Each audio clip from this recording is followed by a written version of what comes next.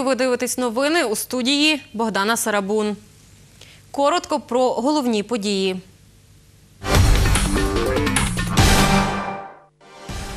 У Бережанах відбувся марш патріотів. Участь у ході взяли 700 осіб. Для мене це як виховання патріотизму і е, українського духу в наших тілах. У Тернопільському національному технічному університеті відкрили меморіальну аудиторію імені Степана Стефурака. Аудиторія для національно-патріотичного виховання, де студенти зможуть прийти, провести дискути, ознайомитись з біографією Степана Стефурака. У Тернополі відбувся мистецький захід за кавою про борщівську сорочку. Борщівська вишивка особисто для мене це космос, адже її надзвичайні відзерунки, техніки. Саме це приваблює багатьох людей.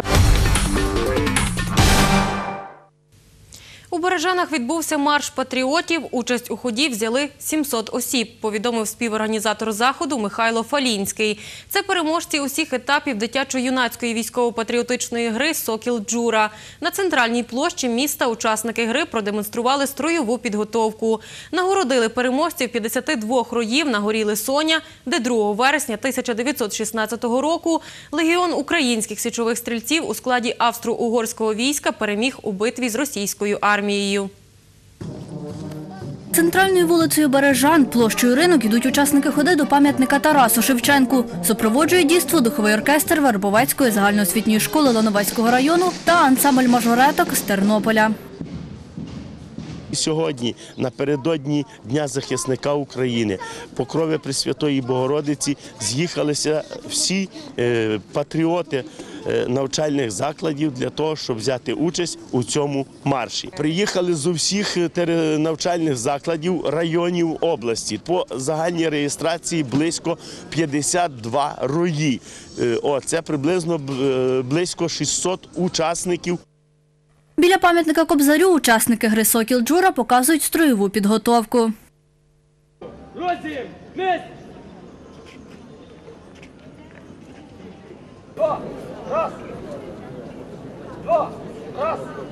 Особисто я е, приймаю участь в цій грі вже третій рік. І е, для мене це як виховання патріотизму і е, українського духу в наших тілах. Як ройова, можу сказати, що наша, наш рій зайняв декілька разів вже в районі призові місця, саме перше, як минулого року. Тому ми і тут сьогодні. Брали участь у обласній терновій грі багато разів. Зокрема, минулого року ми зайняли перше місце.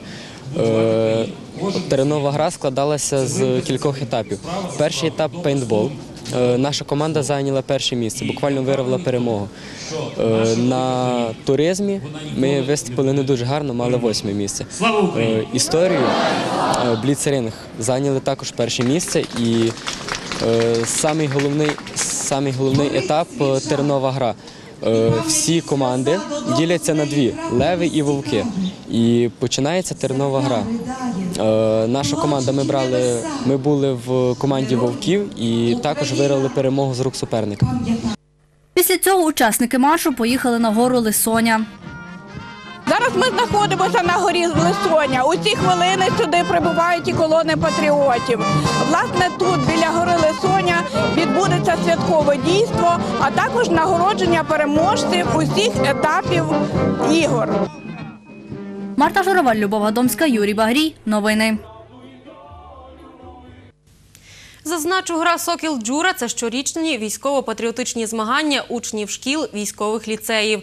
Вона має чотири етапи: шкільний, районний, обласний та всеукраїнський. Цьогоріч на обласний рівень вийшли 46 команд. У змаганнях перемогли учні Тернопільської школи номер 24. На всеукраїнському етапі вони отримали відзнаки у двох дисциплінах строєвому впоряді та медичній підготовці. Про це кореспондентові новин розповіла директор обласного центру туризму і краєзнавства Оксана Пшенична.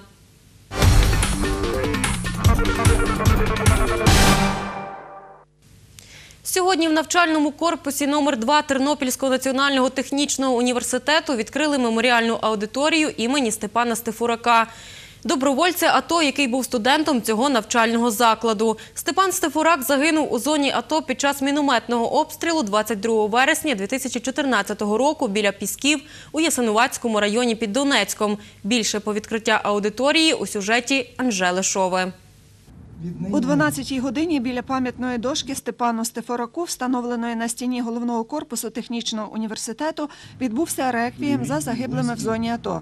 Після цього усіх запросили на церемонію відкриття аудиторії Степана Стефорака. Стрічку перерізали його мама та ректор цього технічного університету Петро Ясній. Ось це меморіальна аудиторія імені Степана Стефорака, розрахована на 140 місць. Колись тут, у цих стінах, навчався сам Степан. Над інформаційним наповненням цього навчального кабінету працювали понад рік. Ректор Тернопільського технічного університету Петро Ясній розповів, відкрити меморіальну аудиторію Степана Стефорака вирішили після того, як дізналися про його загибель. Аудиторія для національно-патріотичного виховання, де студенти зможуть прийти, провести диспути, ознайомитись з біографією Стефана Стефурака, історією е, українського війська і так далі. Аудиторії такі, як правило, присвячують е, в закладах великим людям або науковцям, вченим. Ця аудиторія присвячена нашому колишньому студенту, патріоту, який поклав життя за незалежність нашої України. У 2015 році е, ми виготовили табличку і назвали аудиторію іменем Степана Стефорука. Е, Маючи вже назву аудиторії, відповідно мало бути продовження, наповнення аудиторії. Ідею, як створити аудиторію, е, насправді довго обдумували. Сам стенд е, про Степана Стефорука розроблявся по всіх по всіх інформаційних відомостях, які були в інтернеті, які дописували побратими зі спогадів друзів, одногрупників, ну і відповідно із довідок, які вже відомі зараз в Вікіпедії. Е, Стенди зроблені по-сучасному. Хочемо, щоб воно було на довший на тривалий час і використовувалося протягом багатьох років, щоб ця пам'ять була тривалою. Степанова мама Світлана Стефурак каже, син обрав навчання в технічному університеті, бо тут навчався його батько. Про те, що пішов добровольцем на схід, був бійцем 5-го окремого батальйону добровольчого українського корпусу, нічого не знала. Не знала, що він пішов. Ми, вже знали аж після його смерті, що він там. Ми, наприклад, не знали. Він мені розказував, що він на навчанні, що він не розказував, де він і що. Постійно був на заняттях, постійно йому казали, що вчиться. Всі казали в групі, що ходить на заняття, він не ходив, що вже був там на сході. Побратим Степана Назар Сарабун познайомився з хлопцем під час Революції Гідності. То була дуже добра, світла, проста людина, яка мене завжди дивувала, він завжди давав заряд потужної енергії побратимам. Та, на жаль, таких хлопців дуже мало збирають інформації, але я бачу на свої очі, як він міг до ночі записувати щось. Коли ми там жили по спілках, він лежав в коридорі постійно писав або постійно грав. А, Десь завжди усміхнений. Тобто, а навіть десь після якихось втрат е, не завжди в нас були бойові. Та, ця людина могла підняти всім настрій. Нарешті навчилися правильно вшановувати тих, тих людей, тобто люди, які тут, вони мають вже, вже якась певна атмосфера. Дуже якісно, дуже, дуже велично. Мені здається, що це такий приклад, приклад, як потрібно робити. Анжела Шова, Оксана Галіяш. Новини.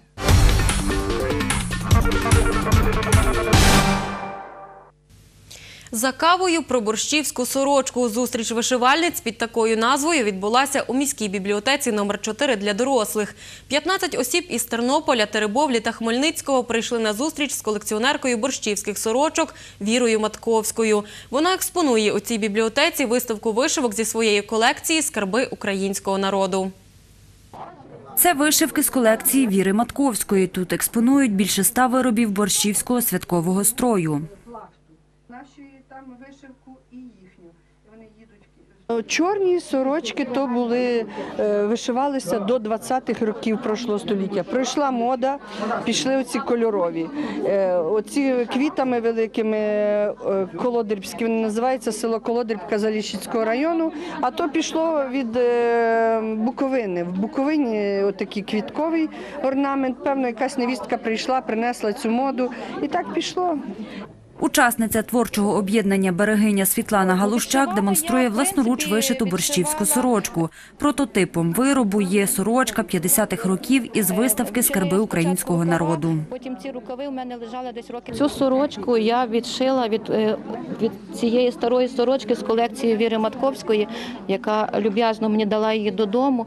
Ми максимально е, намагалися з дочкою підібрати е, матеріали, всі тканину, нитки. Ну а, а шов ми вже вишивали хрестиком, бо тут е, воно вишито підстеленим хрестиком до тих старих ниток. Теперішніми нитками трошки ми вишивали по-іншому. Ми беремо ті знання про старовинну вишивку і адаптуємо їх до сучасних умов, тому що тепер е, немає тих матеріалів, які колись тепер вишиваємо з сучасних матеріалів. Воно відповідно вимагає зовсім іншого вишиття, але намагаємося ну наблизити його до, е, до тих першоджерел. Вишивальниця Майя Юркевич розповідає про техніки борщівської вишивки. Їх, за її словами, є понад півсотні. Я часто повторюю, що борщівська вишивка особисто для мене це космос, адже її надзвичайні відзерунки, техніки саме це приваблює багатьох людей, особисто мене зачіпає. Е, Вважаю, що вишити борщівську сорочку потрібно до цього дорости, виносити. Тому що дехто вважає, що це надто складно. Я ж говорю, ні, якщо є бажання, то обов'язково все вийде. Стосовно технік, вони насправді не є е, важкі. Просто зрозуміти суть і все обов'язково вийде. Терпіння, звичайно, потрібно, адже борщівські сорочки давні, автентичні, вишивалися вовною. В цьому полягає така особливість і ускладнює процес вишивання. Бо якщо ми бавовною звичним ідем це вишиваємо набагато швидше, то вовною це трошки незвично, вона товстіша, в процесі крутиться і найважче. Тобто терпіння, бажання і можна вишити сорочку. Ця борщівська сорочка вишита технікою верхоплут. Низ бавовна, верх вовняні нитки. Як зазначає майстриня вишивки Майя Юркевич, сьогодні вишити е, борщівську сорочку старовинними техніками цілком реально. Для цього потрібно бажання, терпіння та правильно підібрати матеріали. Марія Котенко, Андрій Прокопів. Новини.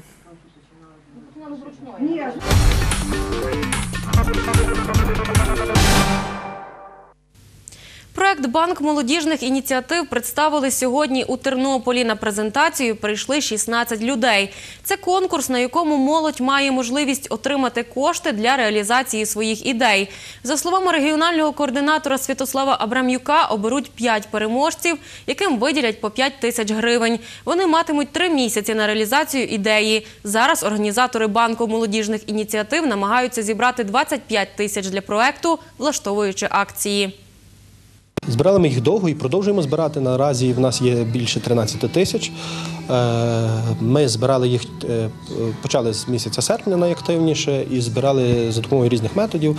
Е, Зокрема, ми проводили ярмарку до Дня Незалежності. І кілька таких найцікавіших заходів, які ми робили для збору коштів, це оренду велосипедів ми надавали.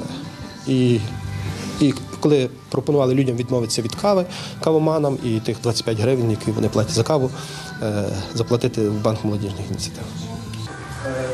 Дуже багато часу не будемо забирати.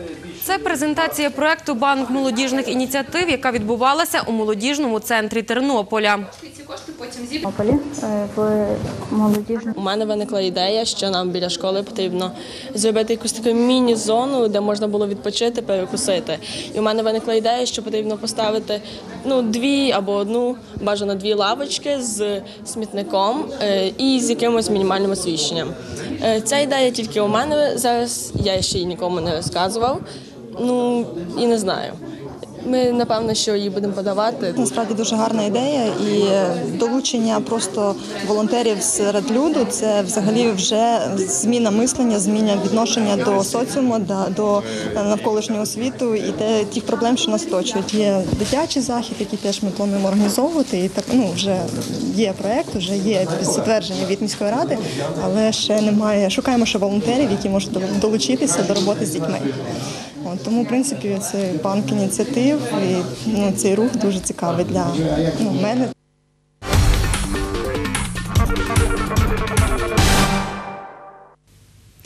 Подати свої проекти молодь може до 25 жовтня. До середини листопада визначать переможців, повідомив регіональний координатор Святослав Абрамюк. Зазначу, банк молодіжних ініціатив стартував одночасно у 10 містах України.